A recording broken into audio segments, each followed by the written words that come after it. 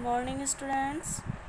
Today we will discuss question answer of chapter three class fourth तो पहला हमारा question है वोट आर ऑर्गन्स ऑर्गन्स क्या होते हैं?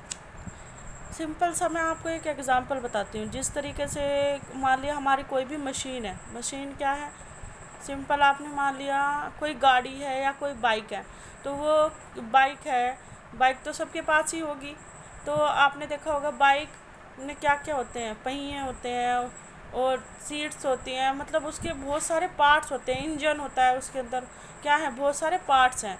उसी तरीके से हमारी बॉडी में भी बहुत सारे पार्ट्स होते हैं और वो भी इसी तरीके से वर्क करती है, जिस तरीके, सारी चीज़ें मिलकर इस तरीके से वर्क करती हैं, जैसे कि कोई machine our body works like a machine which made up of various parts these parts are known as our body organs हमारी बॉडी बहुत एक मशीन की तरह काम करती है।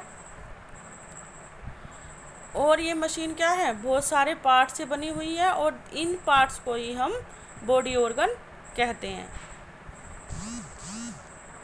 नेक्स्ट है question number two what do veins and arteries do veins और आर्टरीज क्या करती हैं? Our arteries carry blood from our heart to the rest part of our body arteries क्या करती हैं?